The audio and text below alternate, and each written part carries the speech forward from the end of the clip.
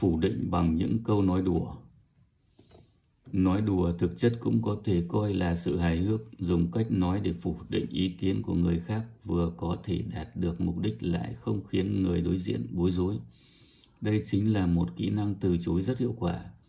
Bạn trai mời bạn đi dự hôn lễ của người thân hoặc yêu cầu bạn tới gặp người nhà của anh ấy. Nếu cảm thấy chưa đến lúc hoặc không muốn tham gia thì bạn có thể nói em không quen mọi người, em xấu hổ lắm, em không đi đâu. Câu nói đùa này không những từ chối yêu cầu của đối phương mà còn có thể khiến họ cảm thấy thoải mái trong lòng. Từ chối và chấp nhận là hai việc trái ngược nhau.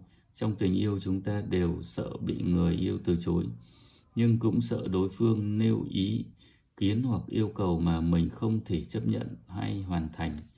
Do đó nắm được các kỹ năng từ chối khéo léo là điều rất cần thiết.